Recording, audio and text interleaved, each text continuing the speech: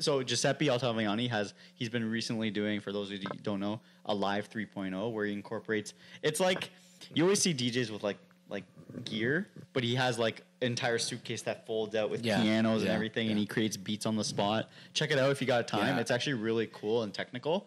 But it was not one of those sets. It was a straight DJ set for four hours.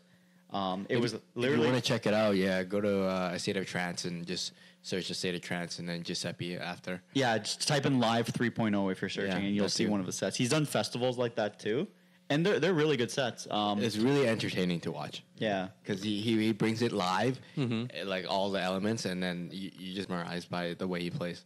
It's re- it's really sick.